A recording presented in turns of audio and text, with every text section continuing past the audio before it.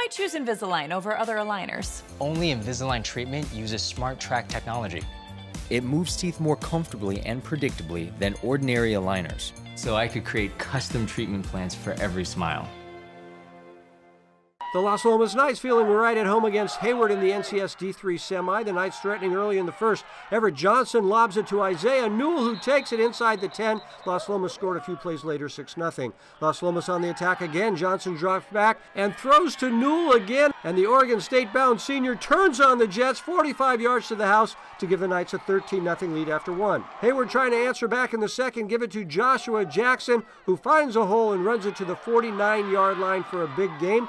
Hayward looking to keep the drive going, but Sammy Von Felden forces the fumble after the catch. Jayden Duffy recovers the loose ball as the Knights take advantage with a field goal, and it's 16 0 Knights. Las Lomas extending the lead just before the half. Johnson heaves it deep to a wide open Zach Patterson, who walks it in for 6 23 0 Knights at the half. Much of the same for the Knights in the second half. Johnson with the pass to Elijah Lash, who shows off the spin move, and Elijah is in for the touchdown. Las Lomas wins it 37 6 to move on to the D3 final next week.